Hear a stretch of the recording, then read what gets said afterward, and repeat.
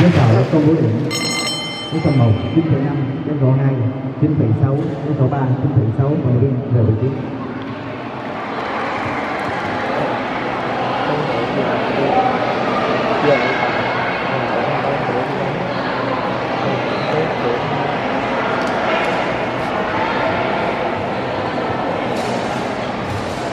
Tiếp theo với nội dung quyền tự chọn bên phía ngắn, nữ, các vận động viên một, Nguyễn Thị Thanh Trúc Trân Thành.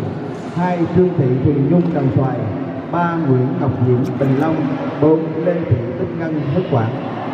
Các giám khảo gồm có giám khảo một, Nguyễn Phi Phụng, giám khảo hai, Phạm Văn Thuyết, giám khảo ba, Đặng Hoàng Giang.